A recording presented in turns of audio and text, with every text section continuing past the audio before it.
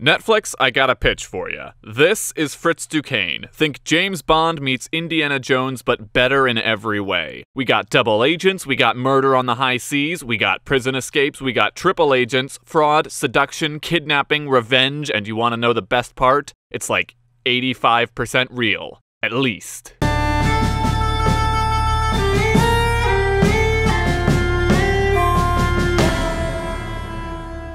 This episode is sponsored by Call of War, the World War II strategy game played against real players in real time. I know, the mobile games with silly names, they finally got me, but I'll have you know this is actually a cross platform game with a silly name. I've gotten a lot of offers from different apps, and so far I've turned them all down, but I went with this one because back in the day, this same company had a World War I game, and let me tell you, I played a lot of that game, just because the scope of it is insane. You join the war as a country of your choice, there's up to 100 players on on one map for you to ally with and stab in the back at your own discretion, and everything plays out in real time, so you end up with these epic knockdown, drag out battles spanning over weeks. And it looks like they've really upped the tech tree with this game as well. I'm excited to get into it. I'm going to be playing a game with anyone who wants to join me. Just search for Jack Rackam and use the password Duquesne. The game's already free, but if you use the link in the description, you'll get 13,000 gold and a month of high command as a bonus. As a wise man once said, I look forward to killing you soon.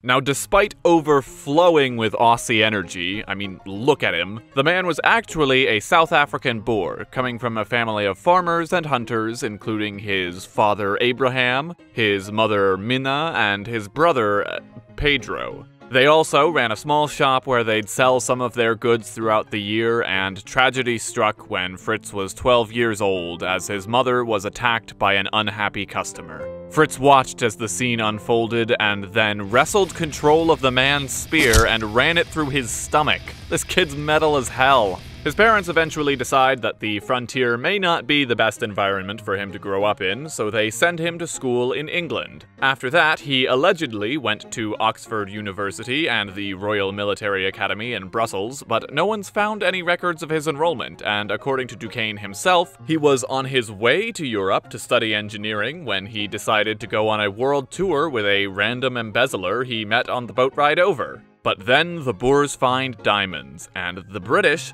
want those diamonds, so they declare war, so Fritz comes back home and enlists in the army, now speaking with a posh British accent which I'm sure was very well received by his peers. And he does some soldier stuff, fights bravely for his homeland, gets wounded, but it's also at this point that he adopts a moniker, and no joke, he becomes known as the Black Panther. He ends up being put in charge of a mission to get all the gold in the central bank out of the country before the British can steal it, but people start thinking maybe they could take a little cut, and a fight breaks out, and Duquesne finds himself one of a handful of survivors. Clearly, he can't continue transporting all of it alone, so he orders the remaining men to hide it away. Add buried treasure to the list of cool things surrounding this dude because people are still looking for it to this day. He ends up getting captured and sent to a detention camp in Lisbon, and this is where the real fun begins. It begins with a perfect crime.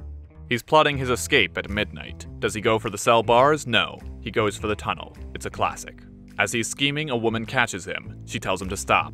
It's her father's jail. She's Donna Juana. He says no. They make love all night. In the morning, she unlocks his cell and he escapes in borrowed clothing. The ship's bound for Paris, but he continues to England. Doesn't trust her. Besides, he likes the overcast. At this point, he signs up for the British Army. Due to his skills in Afrikaans, he's promoted to an officer, but he's a double agent, and he's just got his ticket back to South Africa. Unfortunately, his route takes him right through his childhood moisture farm, and he finds it desecrated. What's more, his sister's been killed and his mother is dying in a British concentration camp. The man responsible was Lord Kitchener, who'd been implementing a scorched earth strategy and rounding up the civilians into concentration camps under the watch of the British so they couldn't aid the guerrilla forces. And Fritz swears revenge.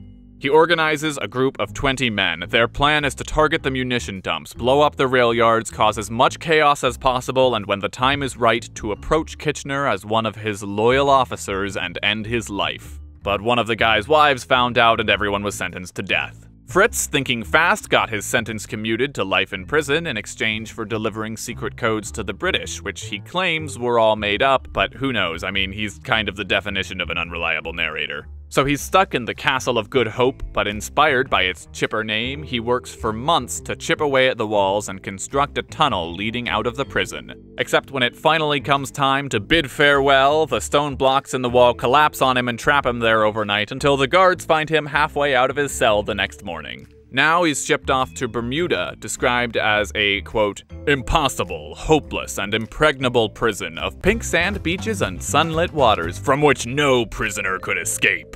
But seriously, it was half a world away, and oh yeah, an island. So he just climbed over the barbed wire fence, swam cut and bloodied 1.5 miles through shark infested waters to the main island, found refuge with some Quaker sympathizers, teamed up with a prostitute, knocked out and impersonated one of her clients, and sailed all the way to Baltimore. And then the war ended, and the British wanted him dead, so he figured he'd chill in America for a while. And oh, if you thought he'd just settle down and take up a career as an adventure novelist, well, he did do that, but also he got brought in as an expert to advance a proposal to bring in $250,000 of hippos into Louisiana. That way they could be turned into lake cow bacon, which probably would have been an environmental disaster, but it would have been amazing. But never mind that, he comes out the other side of it as Teddy Roosevelt's personal shooting instructor. A known spy just broke out of prison and charmed his way into the White House.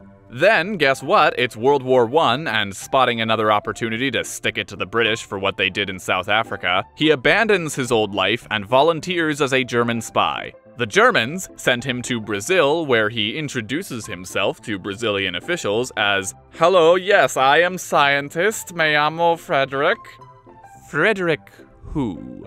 Uh, Frederick... Fredericks and they believe him. And he sinks 22 merchant ships by sticking time bombs on them disguised as mineral samples, but that's not all. He takes out American insurance on all of them, so now he's cashing out on the equivalent of over $2 million. One of his accomplices got caught and ended up exposing Frederick Fredericks, but it turns out to be a blessing in disguise. You see, first, Fritz did what any German operative would do and faked his own death after taking up residence in Buenos Aires. But after that, German intelligence assigns him his dream job. It's finally time to kill Kitchener. Uh, maybe. Officially, what happened was that Kitchener's ship diverted off course to avoid bad weather, ran into a mine, and sank. Fritz's whole career revolved around telling tall tales to make himself more popular. It's technically possible things went the way he said they did, but the evidence is conveniently missing, so for now, this is more of an amusing hypothetical than legitimate history. But with that out of the way, allow me to weave you a tale of the man who took down Kitchener. Kitchener was the face of the war in Britain. Like, literally, that famous poster, that's Kitchener. But by 1916, he lost favor with the top brass and had gotten sidelined. Now he's got an important mission to Arkhangelsk to negotiate with the Russians and keep them in the war. One big chance to prove himself. Accompanying Kitchener on this trip was a Russian nobleman, Count Boris Zakrevsky, or so he thought. According to Duquesne, the real Zakrevsky had been kidnapped and replaced with none other than the Black Panther himself. The ship diverts its path to avoid bad weather, Fritz excuses himself from entertaining the crew with his thick Russian accent and scurries back to his room, lighting a signal out the window for the German U-boats to attack. But the Germans strike too soon. Fritz is still aboard. He tumbles across the deck, watching Kitchener run uselessly toward the bow as it tipped up to the sky. He leaves the man to his watery grave as he grabs a raft and rushes into a daring leap over the side. For 15 minutes, he hears the wails of British sailors, and then all is quiet. He drifts alone, wondering if he's only delaying the inevitable, until the U-boat rises up underneath him. The day is saved. He returns to Germany and is presented with an Iron Cross, and everybody clapped. But you know, probably it was a mine. After that, he went to Washington, D.C. to try and take advantage of his connection with the Louisiana Hippo senator, but nothing really came of it before the war ended. But apparently, even though he'd gotten into it for revenge, it seems like Fritz just really enjoyed being the center of attention and the satisfaction of duping people, because he made the very unusual choice of transforming himself into a public figure but Tales of African Safaris were so five years ago, so he just invented some new stories. And so he becomes Aussie war hero Claude Stoughton. How you going? Been bayoneted three times, gassed four times, stuck once with a hook. Nasty bugger that one. Probably seen more war than any man at present. Mind you, the war was over and the Americans had no problem with him. This disguise was not a necessity. But then suddenly, the feds raid his New York City apartment and find, among other things, a suspicious amount of information on ship bombings and a letter from the German government saying, Oh, congratulations, you've made such a great contribution to the German war effort. And what tipped them off? Insurance fraud, baby. So at this point, the details get a little foggy because he got arrested twice, and one of the books I've been referencing kind of muddles the two arrests together, but he ends up faking paralysis. Probably because he got beat up at some point, but I like to imagine the cops walk in on him in his apartment and he suddenly cries, Oh no, my legs! So the US is going to give him to the UK to serve his sentence there for murder on the high seas before he gets shipped back to the US to serve his sentence for fraud. But he ends up spending two years in a New York prison hospital on account of his phony paralysis. And mere days before he finally gets sent across the pond, he cuts the bars to his cell, disguises himself as a woman, climbs over the wall, and runs off into the night. Now, considering his track record with the Germans, you'd think he'd be able to settle down there without any problems, but no, he spends five years in Mexico and then comes back to the US, back to New York City, where he invents a new identity and starts working in the movie industry while simultaneously working with a biographer to publish a book about himself. Well, six years later, the cops arrest him, and his biographer tries to defend him by saying, No, that's not Fritz Duquesne, that's my good friend Major Craven. They don't buy it, and they end up getting the guy who arrested him last time to ID him, but when he goes to trial, the British say, Oh, him? Nah, don't worry about it. Statute of limitations are expired. Besides, that was the war to end all wars. We won't have to worry about him spying on us on behalf of the Germans ever again. Alright, so after getting let off the hook, Fritz figures it's okay to start talking to his friends for hours on end about how he used to blow up merchant ships for the Germans. Plus, not sure if you remember, he published a book about it. All this meant that when he decided to become a Nazi and start spying on the US all the way back in 1937, he was one of the most famous spies in the world, which for spies is the opposite of an accolade. The FBI director spoke directly with the president about him, and now the US has a double agent working to take him down. And I'd love to go on about what an epic battle of the minds it was, but most of the time it was just FBI agents doing a Scooby Doo chase in slow motion. Like, Fritz would take an elevator one floor up and then take the stairs back down and then spin around in a revolving door without going anywhere. At one point, he just stopped and asked the guy to leave him alone. But when he finally thinks he's alone, he reveals a bunch of US technology he's stolen and.